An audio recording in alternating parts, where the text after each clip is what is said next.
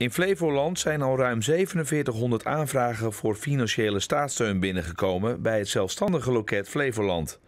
Ondernemers en ZZP'ers kunnen met de regeling hun inkomen laten aanvullen tot het bestaansminimum van 1500 euro of een overbruggingskrediet aanvragen van maximaal 10.157 euro.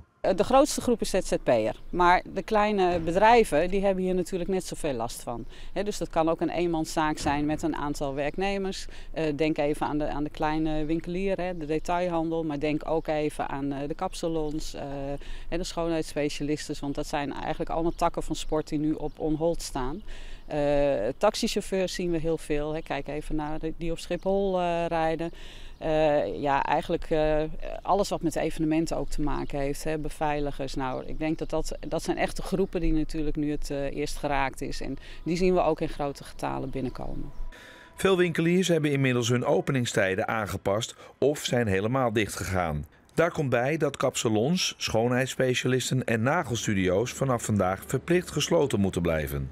Veruit het meest gaat het om inkomensaanvulling. Hè, want de, de, ondernemers zijn ook natuurlijk het meest bezorgd om het betalen van die vaste lasten aan het eind van deze maand. Het gaat natuurlijk ook gewoon om het inkomen. Als jij op dit moment 0 euro in, omzet hebt, ja, dan gaat, kan dat natuurlijk heel snel gaan. Dus dat inkomen, inkomensaanvulling is gewoon heel belangrijk. Daar, daar zie je de meeste aanvragen. Maar daarnaast kun je natuurlijk als ondernemer, uh, heb je natuurlijk ook vaak allerlei vaste lasten. Stel dat je een winkel hebt, ja, dan zit je natuurlijk met huur en allerlei andere zaken die gewoon door blijven lopen. En daar is dan de kredietverlening uh, mogelijk. En dat gaat tot een bedrag van 10.157 euro.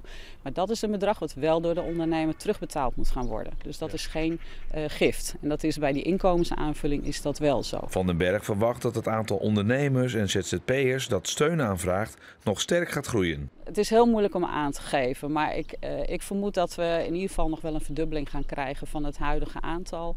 Uh, het ligt ook aan de maatregelen die er verder nog genomen gaan worden natuurlijk. Dus, uh... En zit er dan genoeg geld in de pot voor ZZP'ers die nu denken, nou ik werk gewoon door totdat ik niet meer kan?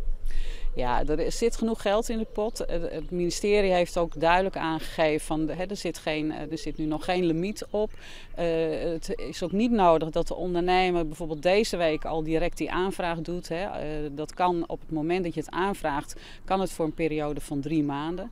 Het kan ook zijn hè, dat je al bij ons een, je al gemeld hebt via een intakeformulier, bijvoorbeeld vorige week al.